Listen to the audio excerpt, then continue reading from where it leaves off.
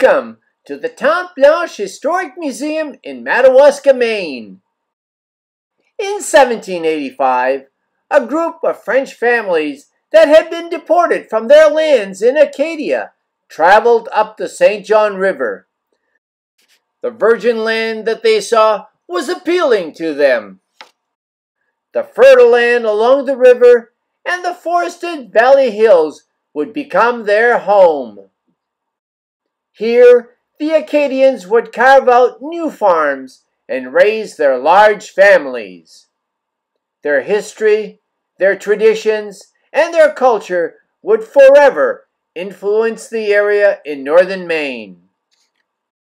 In 1968, a group of people interested in preserving and promoting this rich history formed the Madawaska Historical Society. Their work not only led to acquiring the actual site where the Acadians landed in 1785, but also developing a complex of buildings to display the artifacts, collections, tools, and stories of these people. Today, the museum's main building is named after one of the heroes of these early Acadian settlers. In 1796, a harsh and early winter stranded these settlers in cold temperatures and deep snow. Lack of harvested crops had left these people without provisions. Marguerite Blanche Thibodeau was one of the more fortunate, and on snowshoes went house to house, bringing food, news, and comfort to the area's stranded families throughout the long winter.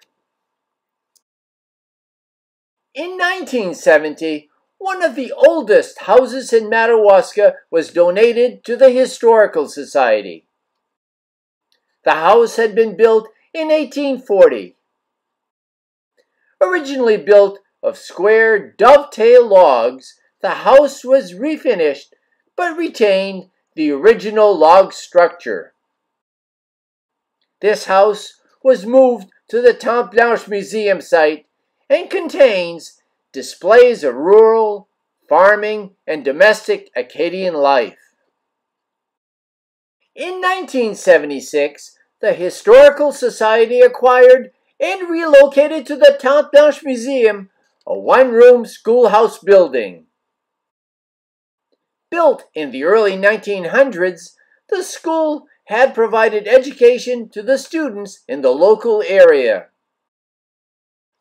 This building now displays the classroom furnishings and learning materials used to provide students their basic functional skills.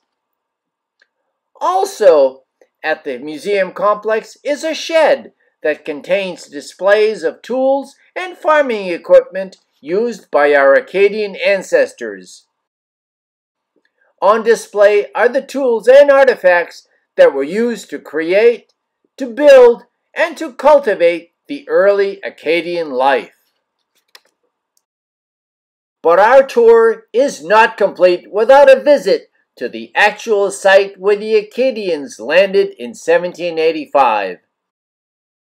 Located adjacent to the Blanche Museum, the site includes a replacement cross to the one that was erected by the original Acadian settlers to give thanks for the land that they had just found. On the walk to the cross, the path is lined with monuments for each family name of these original Acadian settlers. One gets a warm feeling of walking on the same ground that the Acadian settlers had walked on over 200 years ago. You are all invited to visit the Tante Historic Museum and see the Acadian life that existed, but also to stand on the same soil that these original settlers once stood.